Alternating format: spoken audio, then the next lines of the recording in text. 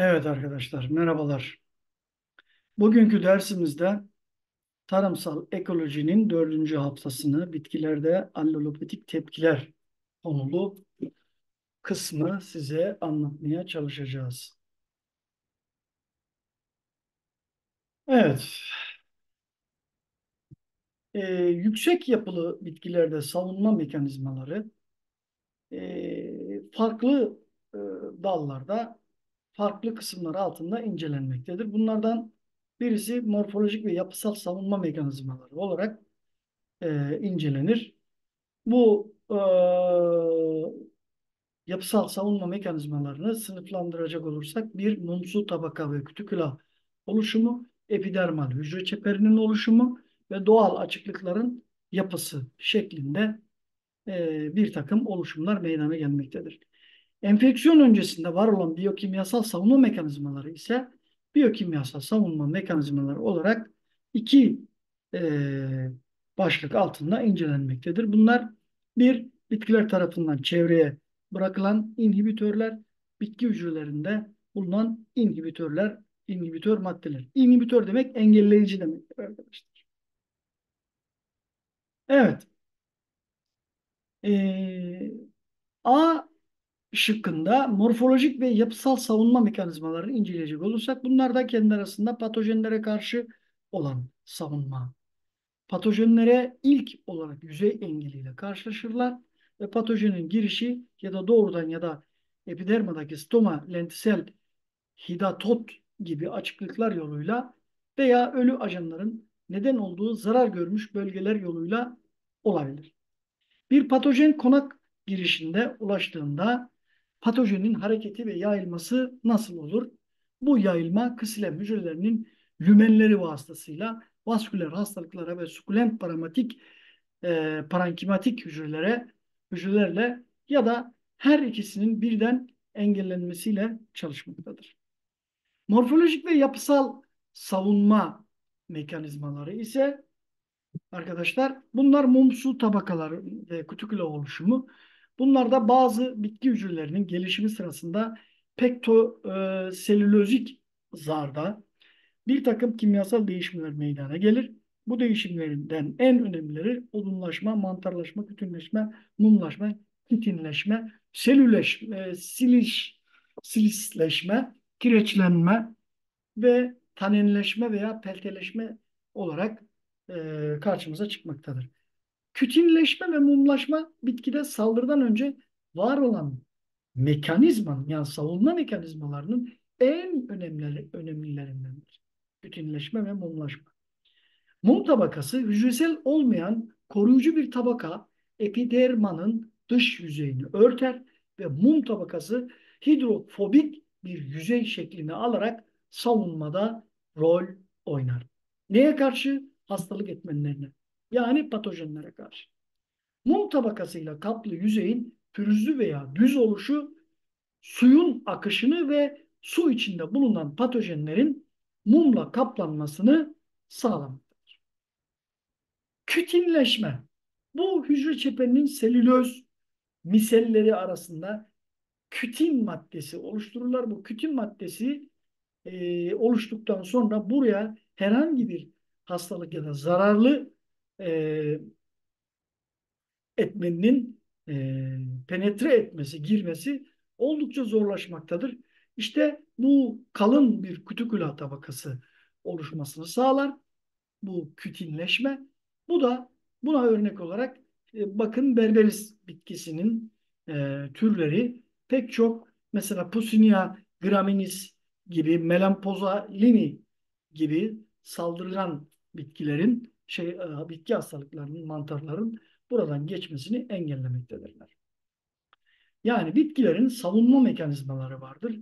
Mesela kahvede kahve bitkisi, kofi, arabica bitkisi e, Linum usitatissimum ve colotrichumum gibi kofe, kahve sa, e, mantar hastalığı olan bu hastalığın kahvenin işte içine girmesini engellemek için bu şekilde kahverengi bir kütin e, e, tabakası, kütüküla tabakası oluşturmak suretiyle bu hastalıktan korunma mekanizmalarını bitkiler devreye sokmaktadırlar. Bir başka e, epidermal hücre çeperinin yapısı ise bu da epidermal hücrelerin kuvvetli ve kalın dış çeperleri il, e, oluşturarak belli bazı patojenlerin içeri girmesi engellenir. Bazı bitkilerin epidermisinde, epidermisinde bulunan silisik asit ve lignin önemli savunma mekanizması olarak rol oynamaktadırlar. Pirikol, e, Pirikolaria bri, brizae bulgusu işte buna en güzel örnektir. Bu ligninleşme ve e, silisilik asit nedeniyle e, bitki epidermisinden bu e, patojen giremez ve bu e, süberin maddesinin içinde e, epidermal hücrenin süberin maddesinin e, girerek birikmesi ve savunma mekanizmasının oluşumuna etkili olmaktadır. Doğal açıklıkların yapısı ise işte gördüğünüz gibi burada e, özellikle stomanın yapısını görüyoruz. Bu stomaların e, birçok hastalığın efendim e, girmesinde açıklıkların kapanıp kapanmama durumlarına bağlı olarak bazı hastalık etmenlerinin bu açıklıktan girip girmeyeceğinin izni işte bu stomaların genişliğine ve stomaların açılıp kapanma durumlarına göre değişiklik göstermektedir. Mesela Pusunia garminis tritici buğday pas hastalığı e, bu eğer gece e, efendim çiğ yağma durumunda e, eğer geç kapanma e, olursa e, bu e, hastalığınla karşı dirençleri e, maalesef zayıf olur. Ama erken kapanırsa e, bu çiğ döneminde e, stomaların geç açılan buğday varyeteleri bu patojenlere karşı dirençli olmakta. Erken açılanlarda ise erken kapananlarda ise o çiğ yağdığı dönemde patojenle beraber bu patojenin girmesini e, neden olmaktadırlar. Demek ki Pusunia garminis tritici buğday pas hastalığının efendim buğdayların stomaların erken kapanması bu hastalığa dayanıklılığı, duyarlılığı arttırmakta, dayanıklılığı değil de duyarlılığı arttırmakta, hassasiyeti arttırmakta ama geç kapanması halinde ise bu hastalığı engellediği görülmektedir. Enfeksiyon öncesinde var olan biyokimyasal savunma mekanizmalarına dikkat ettiğimizde bitkiler tarafından çevreye bırakılan inhibitörler var. İşte bunlar koleto, e, kolea e, totricum e, sirsi, e, nansın, soğan bitkisi üzerinde meydana getirdiği bazı hastalık lekeler vardır. Bu işte soğan bünyesinde katekol ve protose e, asit e, oluşturması özellikle kırmızı soğanlarda mesela e, bu hastalığa karşı bir savunma mekanizması oluşturuyorlar. Bünyelerinde oluşturdukları katekol ve protosaka e, a, es, e, esünik asit, protosaka esünik asit, protosea esünik asit olarak adlandırılmaktadır. Katakol ve protosea asenik asit e, fenolik bir bileşiktir ve e, ölü kırmızı pullarının üzerinde yaşarlar ve bunlar e, aynı zamanda Cicer aerenium küfe karşı dirençli bir variyete üzerinde de etkilidirler. Malik asit mesela konsantrasyonun yükselmesi bazı sporların büyümesini engellemektedirler. Bitki hücrelerinde bulunan inhibitör maddeler var. İşte bunlar efendim e, streptomyces scabies işte patateste skap hastalığı e, meydana getiren bir e, inhibitördür. Bu mis, e, misket limonunun yapraklarında da patates yumrularında bulunan yüksek konsantrasyondaki kalorojenik asit ve Streptomyces scabies'e karşı yani bu patojenlere karşı kalorojenik asit arkadaşlar bu hastalığın patojenin bitki bünyesine geçmesini engelleyerek bitki kendini bu hastalığa karşı bir koruma mekanizması geliştirmiş olmaktadır. Galeosporium limeticola'ya karşı yine misket limonu ve e, misket limonu bu direnç sağladı. E, nasıl sağlıyor? Fumarocomerin Froko, e, Froko Mari'nin sorumlu olduğu bir e, direnç oluşturuyor, bir alkaloid oluşturuyor. Bu furokuamarin e, bu glos, Glosporium limeticola'ya karşı bir direnç sağlamış oluyor. Ginkgo biloba bitkisi mesela yapraklarında kütüküler bir mum tabakası meydana getirdiğinden işte bu tür hastalıkların girmesini engellemiş olmaktadır. Mesela Erwinia ameliora gibi ateş yanıklığı hastalığı da yine bazı arbutin fenolik glikozitinin bu hastalığa karşı bir savunma mekanizması geliştirdiğini görmekteyiz. Arbutin fenolik glikoziti armut ağaçlarında, dokularda sürekli olarak bulunur ve e, B glikosidaz enzimi ile antimikrobiyal aktiviteye sahip semikuinin glikoza hidrolizlenir, e, ayrıştırılır ve direnç kazanan ağaç kısımlarında yüksek düzeyde bulunan beta glikosidaz enzimi işte e, bu e, hastalığa karşı bir savunma mekanizması geliştirmiş olmaktadır. Fluidzin hem dirençli hem de hassas elma türlerinin yapraklarında bulunmuştur. Patojen dirençli bir elma varyetesinin yaprağına nüfus ettiğinde saldırılan nokta çerçevesinde bir hücre dağılır, bitki hücresi dağılır ve ölür.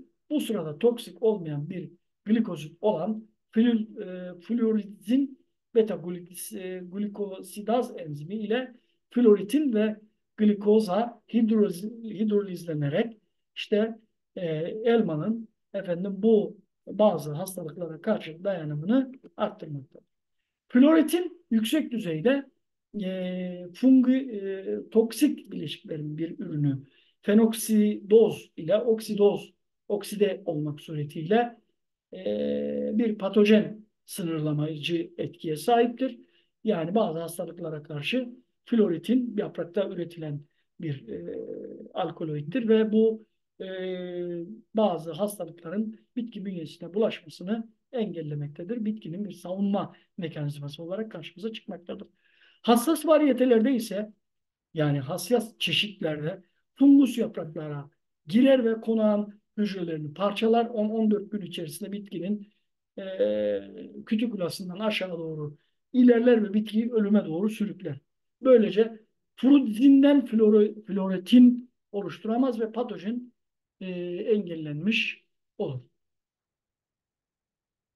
Ayrıca bitkide e, önceden var olan savunma maddeleri arasında polifenol oksidaz aktivitesini artışı, gallik grubu, taninler, knonlar, klorojenik asit, polifenoller, fenolik glikozitler, antosiyaninler, flavonoidler, aromatik bileşikler, ferulik asit, floretin ve çeşitli fitoaleksinler efendim bitkilerin e, savunma mekanizmaları e, olarak e, adlandırılabilirler. Flavonoidler itici çekici, fungusit ve allelopatik bir rol oynar. Ferulik asit, parakumarik asit esterleri karbonhidrat hidrolazlarının aktivitesini engelleyerek mantar, mantar saldırısına karşı bitkiyi korurlar arkadaşlar. Evet.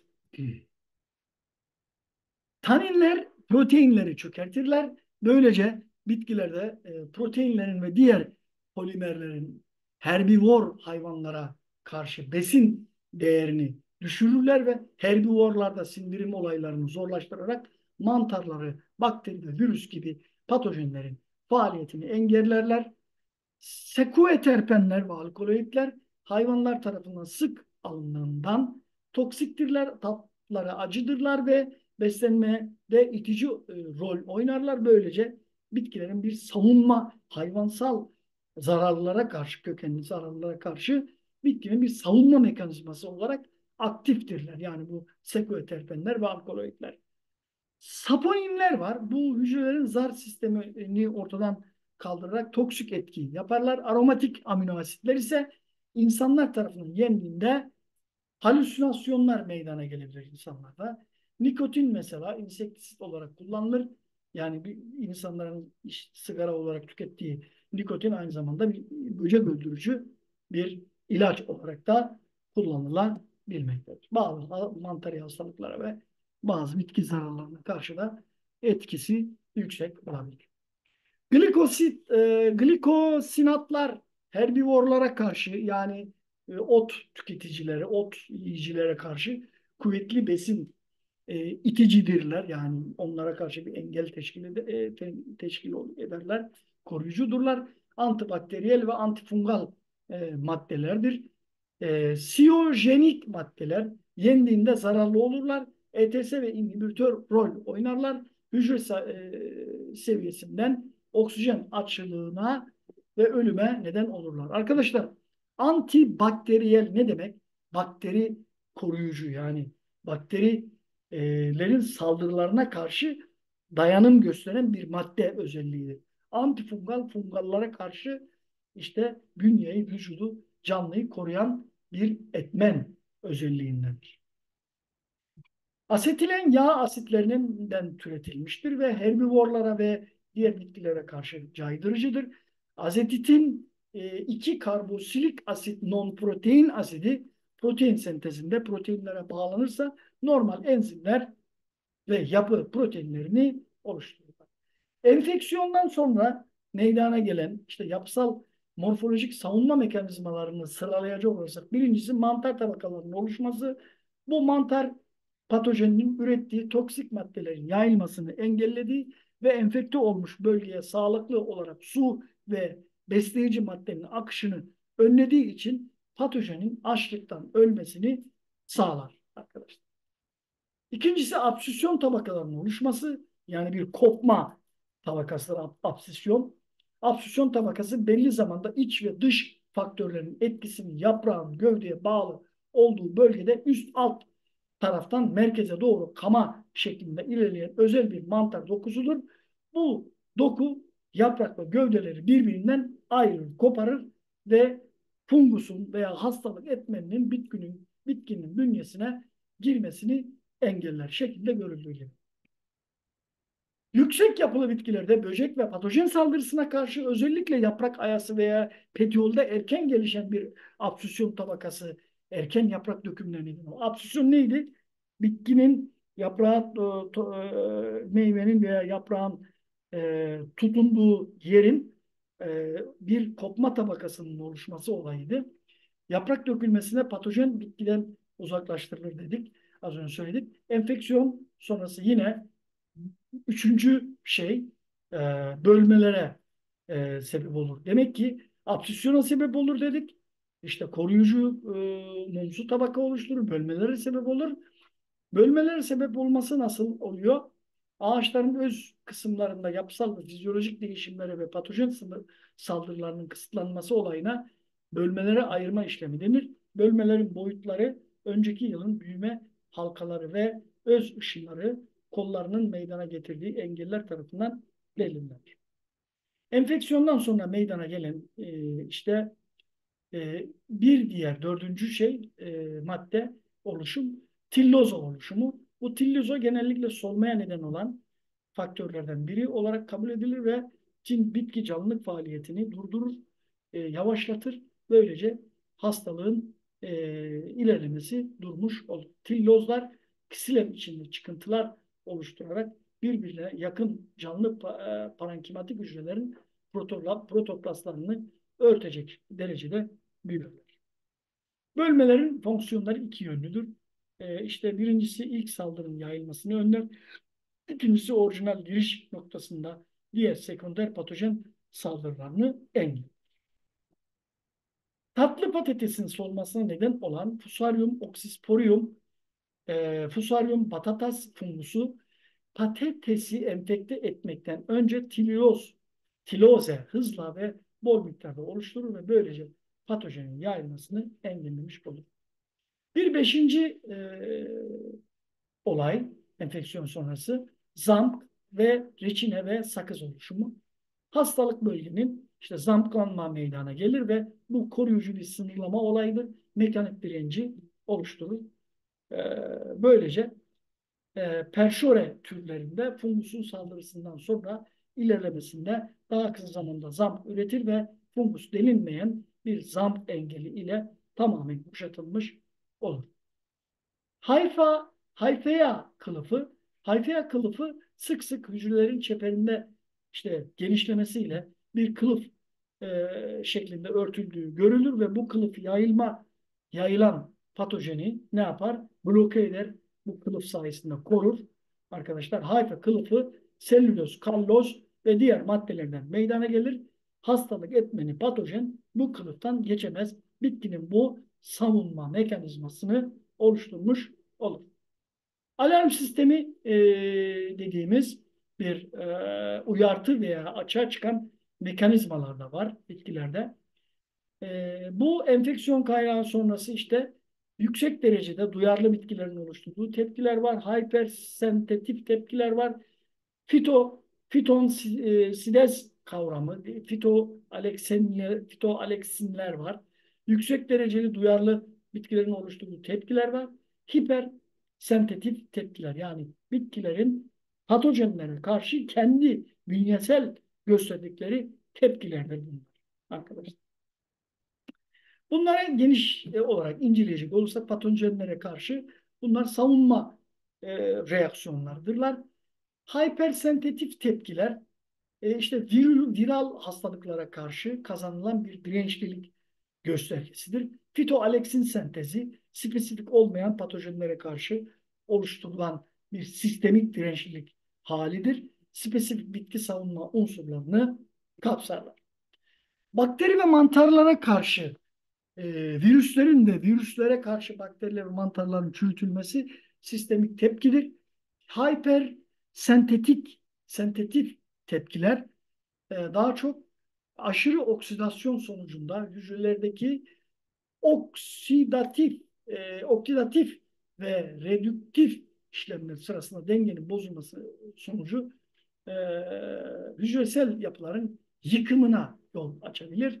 İşte bu e, fitosa, e, üçüncüsü ise e, fitonsitez kavramı. Fitonsitezler de hayvanlar, bitkiler gibi diğer organizmalara karşı aktif olan bitki orijinli kimyasal maddelerdir. Bunlar e, fitonsitler, e, fitoaleksinler, fitoaleksinler ise bitkilerde mantar hastalıklarına karşı bitkileri koruma özelliğinde olan alkaloidlerdir. Aynı zamanda UV ışınları, sıcaklık şoku, abiyotik stres faktörleri nedir mesela? Bu e, UV ışınları, sıcaklık şoku, yaralanma ve anorganik tuzların etkisi gibi bazı etkilerle de bu e, e, fitosit, fitositler etkili e, olarak devreye girerek bitkinin yaralarının e, iyileşmesine yardımcı olurlar. Fitoaleksinler anti e, e, enfeksiyonel maddeler e, olduğu bilinmektedir. Bunlar fitoaleksinler aynı zamanda e, işte böcek saldırılarında mikroorganizmalara karşı engelleyici rol oynarlar. Efendim işte yaralanmalarda, dokuların iyileşmesinde faydalıdırlar. Aynı zamanda arkadaşlar e, bu yaraların oluşmasında, iyileşmesinde e, efendim e, iki farklı hipotez ortaya atılmıştır. Bunların etki mekanizmasını e, anlatmak üzere enzimlerin do, no, do nova e, sentezi yani doğal olarak sentezi önceden var olan enzimlerin aktivasyonu. Şimdi allelopatiyi tanımlamaya çalışalım. Allelopati nedir? Genel olarak bitkiler veya mikroorganizmaların arasında olumlu ve olumsuz etkileşimlere biz e, ne diyoruz? Allelopati, allelopati adını veriyoruz. Allelopati üç kısımda incelenir. Gerçek allelopati, oto allelopati, Foxya'dan allelopati. Gerçek allelopati bitki bünyesinde oluşan ve bitkilerin e, kendi kendilerine efendim bir savunma mekanizması ihtiva etmektedirler. E, otoallelopati ise bitkinin kendisi üzerinde inhibitör etkileri oluşturmasıdır. Toplam ağırlığının %2, %12'sine kadar ulaşabilen organik bileşiklerin bitki köklerinden salınmasıyla meydana gelir. Trifolium pretens, pratense e, kendi üzerinde engelleyici büyüme etkisi vardır. Thymus capitatus e, uçucu yağları arazi laboratuvar koşullarında işte tohumların çimlenmesi üzerine fitotoksik etki yapabilirler. Kofi, arabika yine fitotoksik alkaloid ürettiği otointikasyon meydana getirdiği görülmüştür. E, fonksiyonel allelopati efendim e, bunlar da allelopatik maddeler bazen bitkiden alındıkları şekilde inhibisyon oluşturamazlar ancak bazı mikroorganizmalarca indirgendikten sonra aktif hale geçerler. Bitkinin ölü ve çürüyen kısımlarından kaynaklanır. Mesela buğday diplerinde Agropyrum repens rizomları ve Prunus persica kökenleri gibi. Değişik bitki türü arasında alolopatik ilişkiler, e, ilgili tipik örnekler vardır. Erica australis ve Pinus baxiana, Erica australis bulunduğu fundalik vejetasyon çayır otlaklarını e, oluşturan türler üzerinde alolopatik etki yaparlar. Bunlar efendim e, kurutulmu, kurutulan e, Erica ortalis'in buharlaştırıp kurutulan sonbaharda su ile seyretilen meta, e, metanolik ekstrelerinin Trifolium e, pratense ve Phloem pratense'nin tohumlarının çimlenmesi ve büyümesi üzerinde kuvvetli alolopatik etkiler oluşturduğu görülmüştür.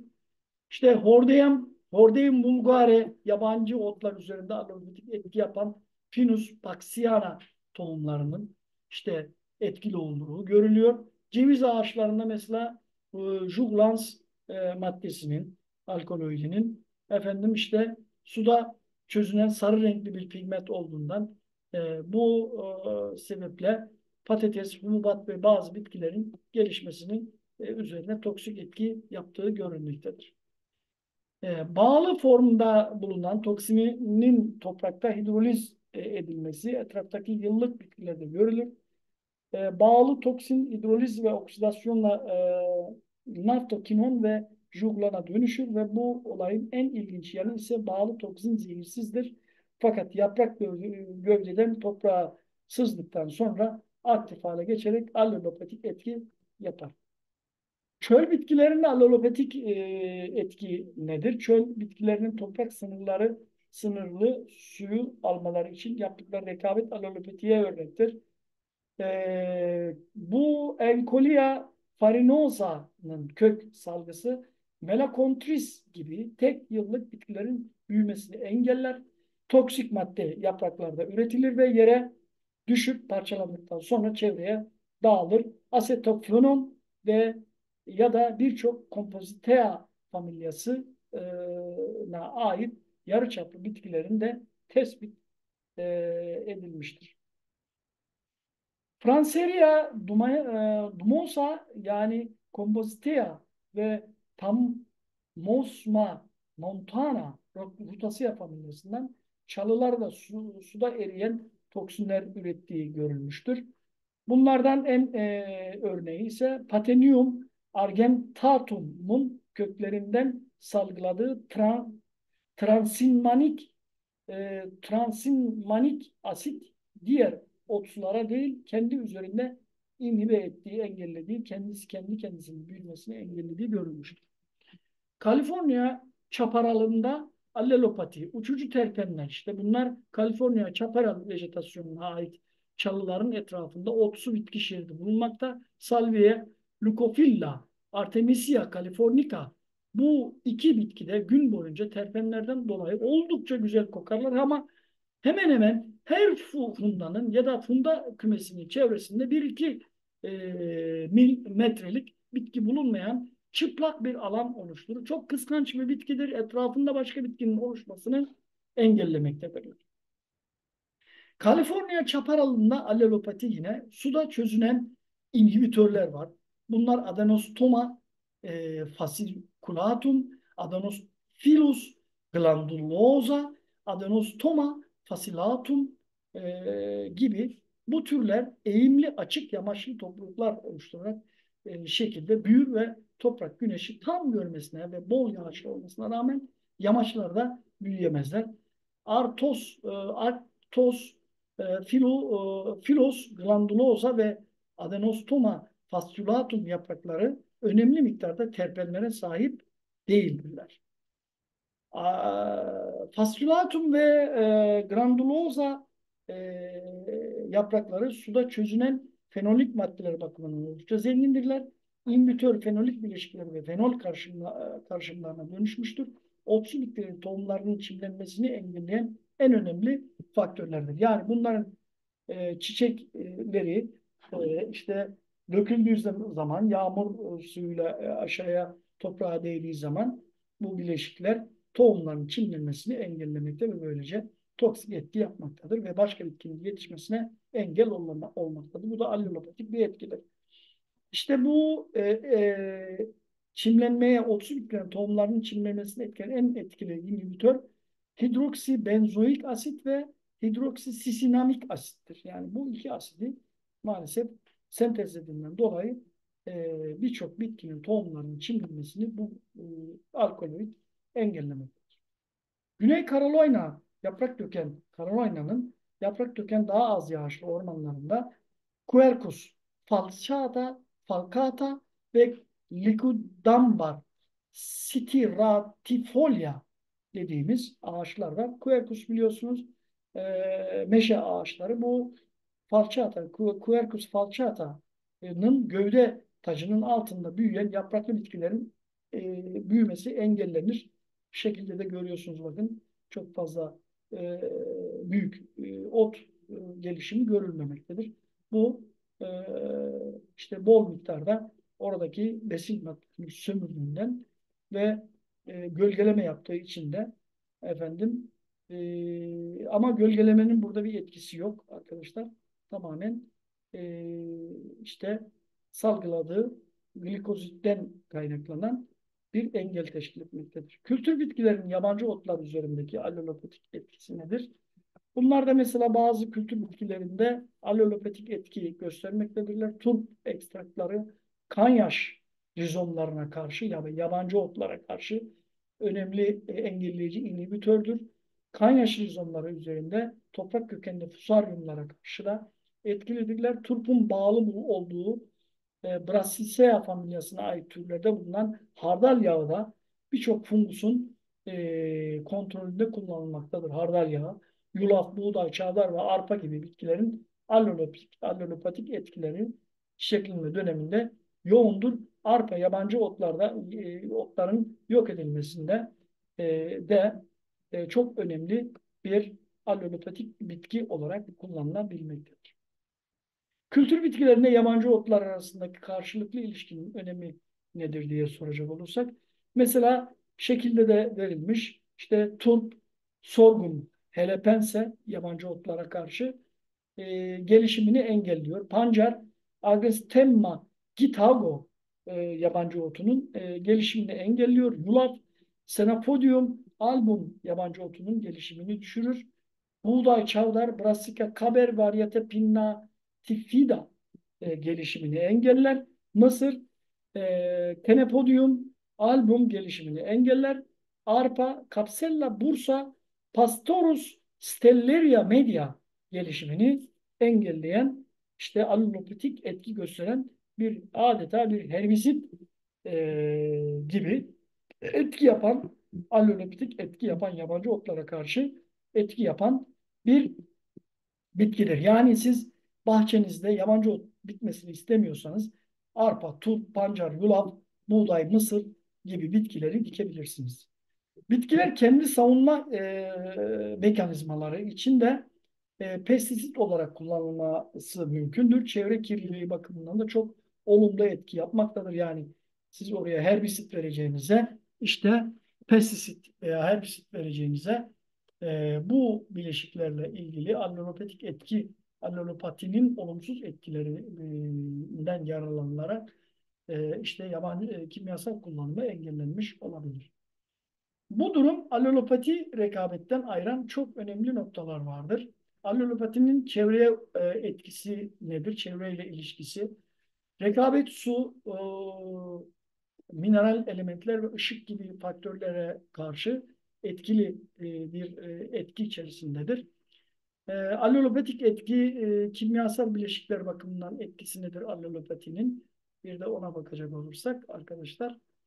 E, burada e, tabii allokimyasallar devreye girmektedir. Allokimyasallar nelerdir? nerelerde üretilirler? Daha çok yapraklarda, sapta, rizomda, kökte, çiçekte, meyve, tohum gibi bitkilerin farklı doku ve organlarında üretilir.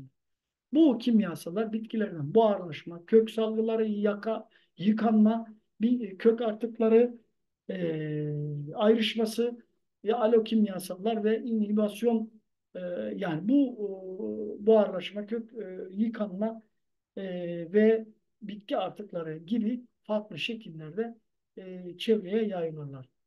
Allokimyasallar arkadaşlar kimi bitkiler için toksik etkiye sahiptirlerdir. Strese hatta ölüme kadar götürebilirler yani bazı bitkilere karşı.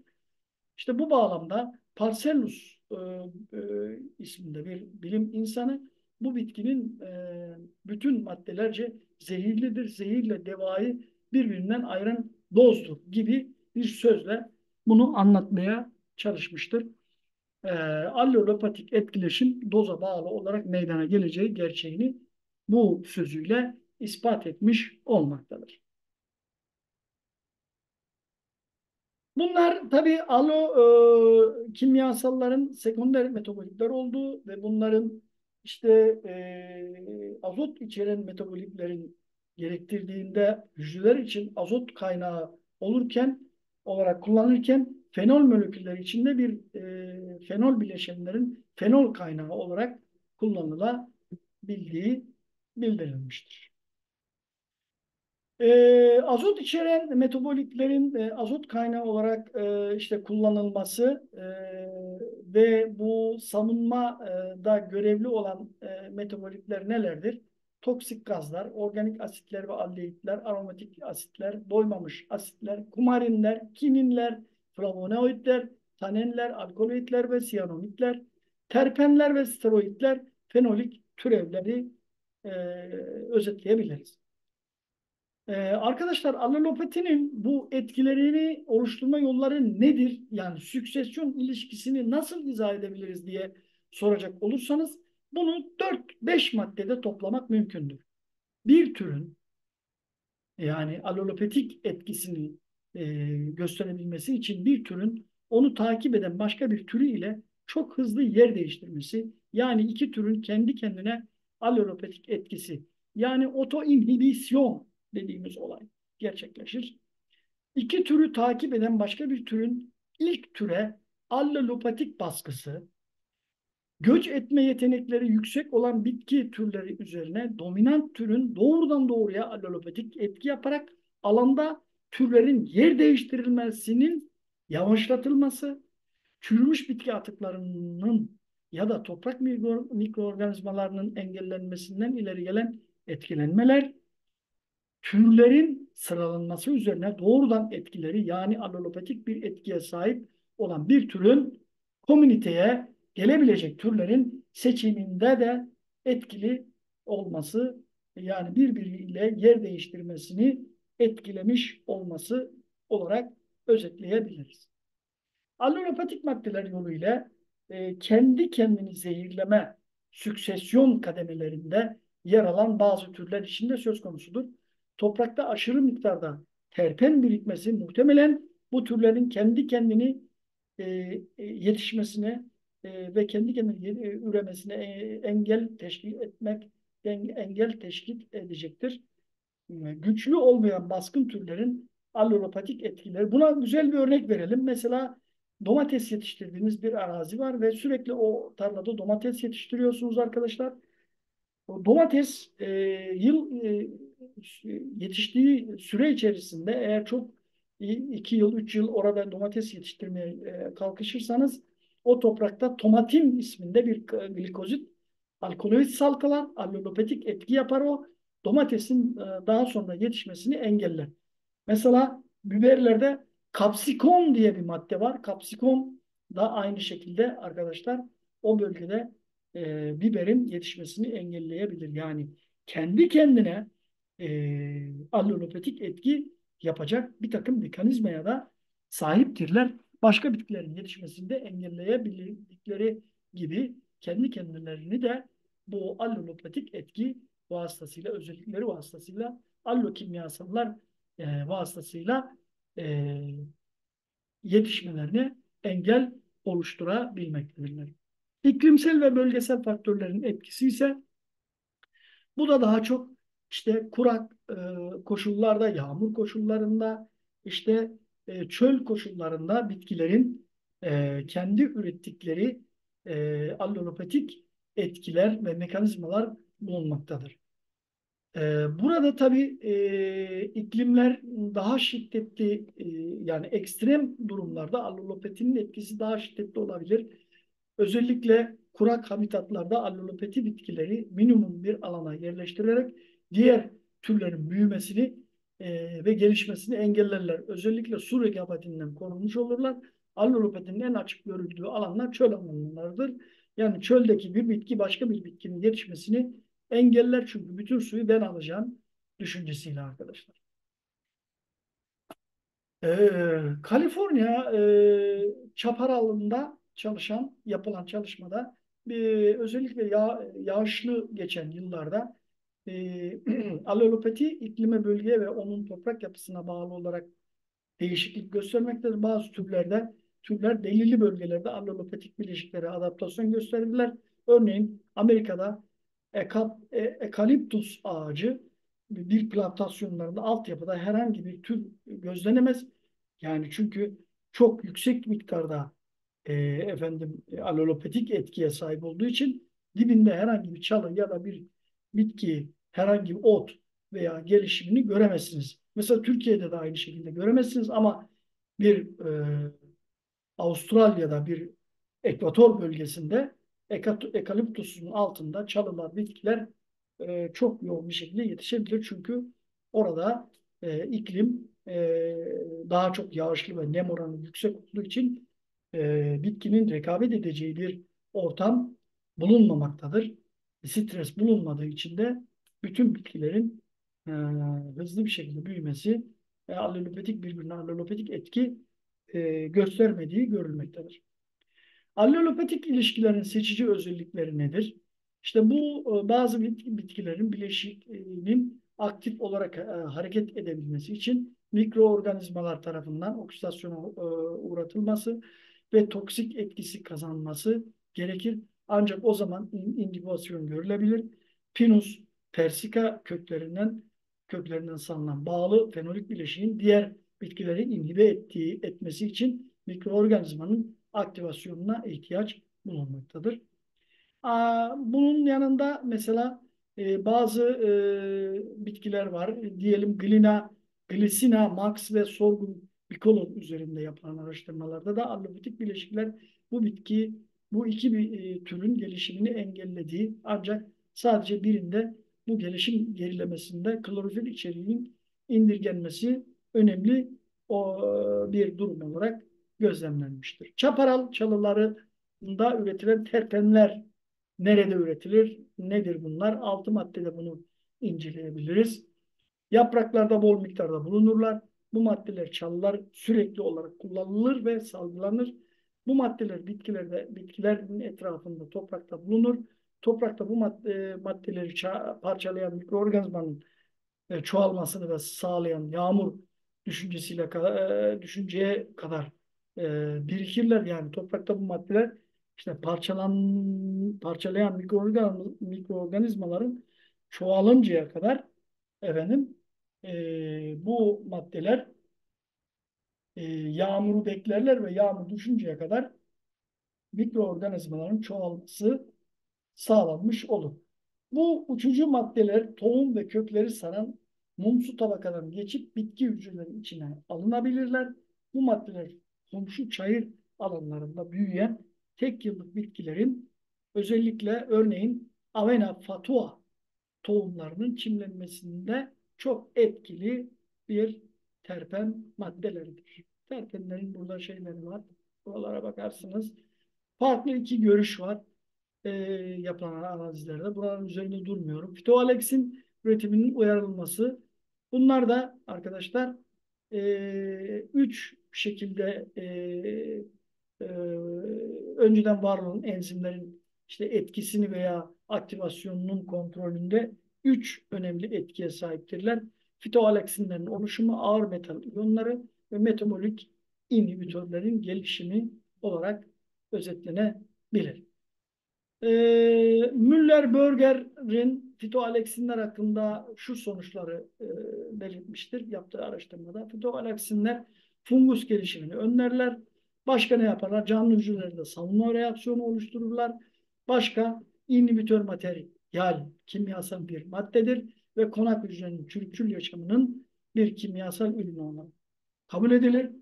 Sadece fungülerle yani mantarlara karşı toksik değildirler. Ayrıca fungus türlerinin de e, fitoaleksinlere karşı duyarlılığı gelişebilir. Direnç sırasında oluşan temel tepki çabuk etkilenen konakların yapısı birbirine benzer. Dirençli ve hassas konaklar arasında fark fitoaleksin oluşum hızına bağlıdır. Savunma reaksiyonu fungusun geliştiği doku ve onun çevresi ile arkadaşlar sınırlandırılmıştır.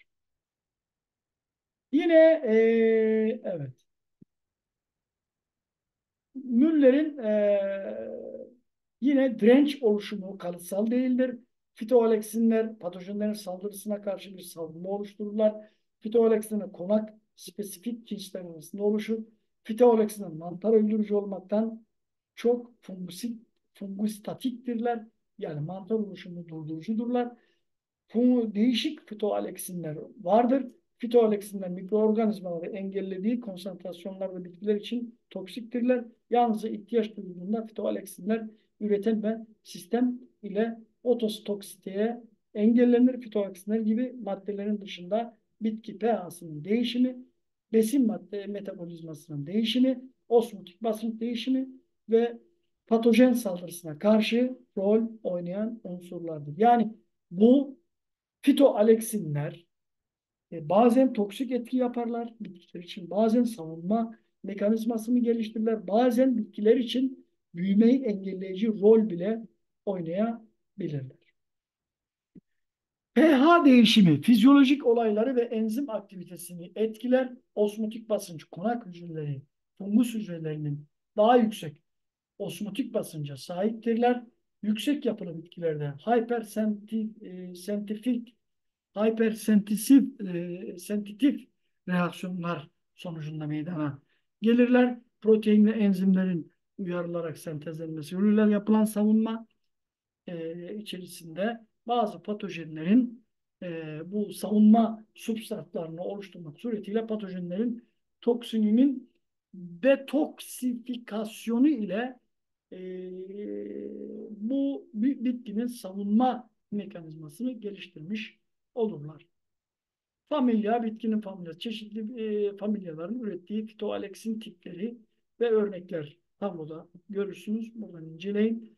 Fitoaleksinlerin kimyasal yapısında arkadaşlar taksonomik olarak önemlidir. Her familya genel olarak kendine özgü fitoaleksin molekülü tipi içerebilir. Bitkilerde savunma e, amacıyla arkadaşlar savunma amacıyla bitkilerde e, inhibitörler kaç kısma ayrılır? Bunlar üç kısımda incelenebilirler. Pro inhibitörler, inhibitörler, post inhibitörler.